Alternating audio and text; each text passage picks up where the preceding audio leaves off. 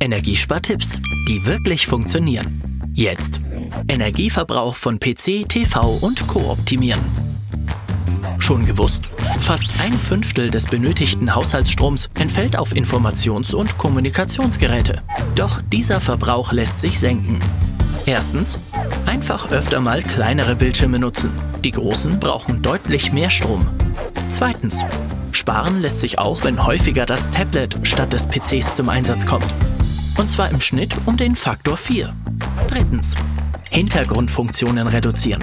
Vieles wird nicht ständig benötigt, braucht aber Strom. Und Geräte so einstellen, dass sie schnell in den Ruhemodus gehen. Viertens, Geräte bei Nichtnutzung final ausschalten. Auch im Standby-Modus ziehen sie Strom. Am einfachsten geht das mit einer zentralen Steckerleiste. Viel Erfolg beim Energiesparen!